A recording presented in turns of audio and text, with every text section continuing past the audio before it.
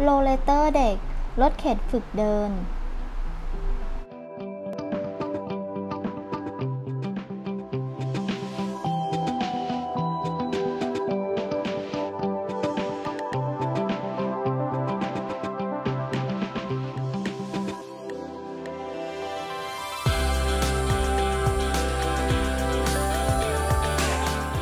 สำหรับเด็ก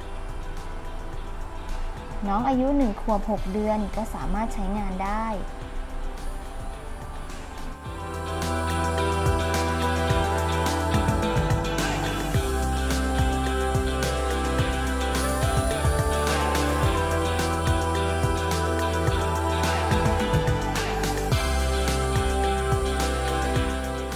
สำหรับน้องผู้ชายอายุ 6 ขวบ สามารถปรับมือจับให้สูงตามสรีระของน้องได้